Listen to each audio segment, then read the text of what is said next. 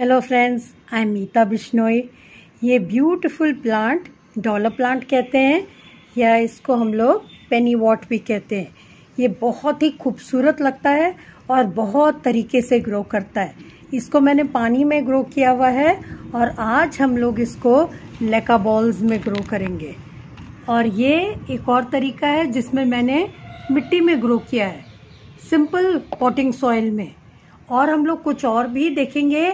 जो प्लांट्स हम लोग हाइड्रोफोनिकली लेका में या फिर खाली पानी में भी ग्रो कर सकते हैं।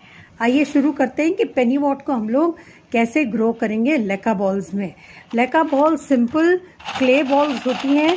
ये आपको ऑनलाइन भी मिल जाएँगी क्ले बॉल्स इनको क्या करते हैं? क्ले को सिंपल बॉल्स बना के बेक कर देते हैं हाई टेम्परेचर्स पे। और ये बहुत हल्की होती हैं। साथ में ये एरेशन के लिए इसमें कुछ होल्स भी होते हैं।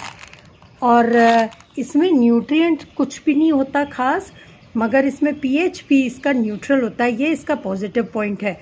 तो हर टाइप के प्लांट्स आप इसमें लगा सकते हैं। थोड़ा पानी मॉइस्चर एब्जॉर्ब करके रखता है, और प्लांट्स की जो रूट्स होती हैं, बहुत अच्छे से इसमें ग्रो करती हैं। बस पानी थोड़ा ऐड करते जाइए, और बीच बीच में इसको थोड़ा क्लीन भी करते जाइए। करीब 15-20 डेज़ में एक बार। और तब तक ये बहुत अच्छे से सेमी हाइड्रोफोनिकली ग्रो करेगा लेका बॉल्स में। वैसे खाली पानी में भी ये बहुत अच्छा करता है, क्योंकि ये पेनी वॉट का जो प्लांट होता है, ये पॉन्ड्स में ग्रो करता है। बहुत मॉइस्चर पानी लाइक करता है।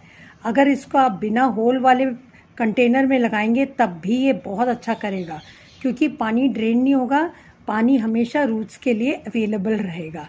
और ये फ्लारिंग होती है इसमें, दिखाती हूँ।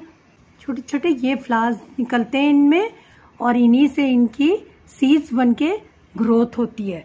और वैसे ये रूट से भी मल्टीप्लाई करते रहते हैं। थोड़ा सा प्लांट लेके आएँगे, ये पूरी जगह आपके फैल जाएगा। इसको मैंने दो तीन दिन से ऐसे ग्रो कर गए थे लॉन में तो इनको निकाल के खाली ऐसे पानी में रखा हुआ है। और पानी में ये ग्रो कर चुके हैं, इनकी रूट्स देखिए कितनी वेल डेवलप्ड हो गई है। इसको रखे हुए करीब एक हफ़्ता हो गया है। अब हम लोग क्या करेंगे? इसमें हम लोग थोड़े से ये सिंपल डी कंटेनर मैंने लिया है और प्लास्टिक का यूज़ कंटेनर इसमें पहले हम लोग थोड़े लेका बॉल्स डालते हैं नीचे और बस इसमें डालने के बाद हम लोग कुछ पेनी वॉट के प्लांट्स सिंपल ऐसे रख देंगे। और ये धीरे धीरे इसी में पूरा ग्रोथ पकड़ लेंगे। और इसमें बाकी में ये लेका बॉल्स भर देंगे।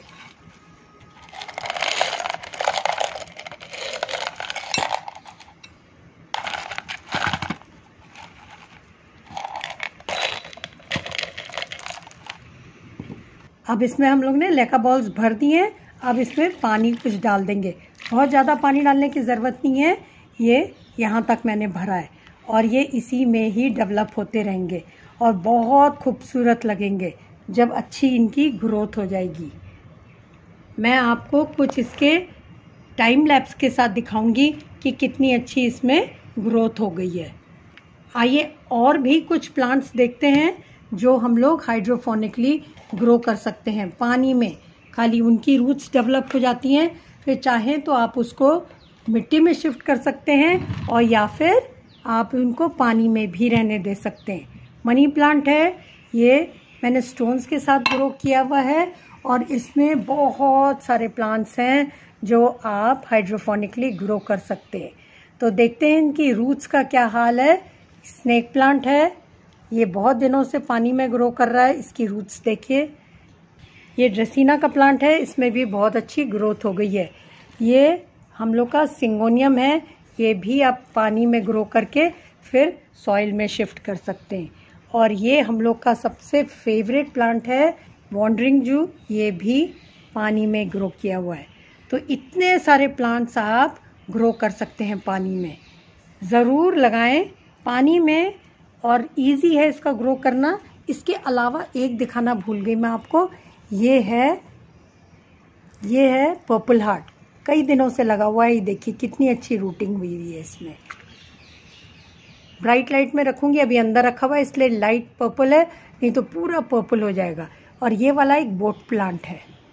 अगर आपको और भी प्लांट्स के बारे में इंफॉर्मेशन चाहिए तो आप मेरा चैनल विज़िट कर सकते हैं और सब्सक्राइब। Thanks for watching.